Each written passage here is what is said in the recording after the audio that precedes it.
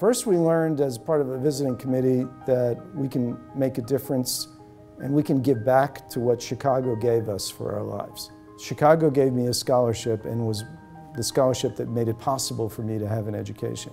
I became a mathematics student and had some of the great mathematics teachers as an undergrad. I'll never forget those days where I truly learned mathematics.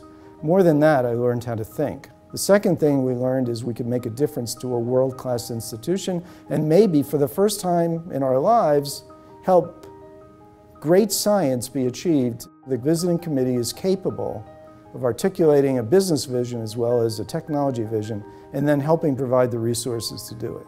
So as a result, people on the committee are entirely energized by success, by having made a difference. In my history, I've not worked together with such a large and successful and talented group in my life.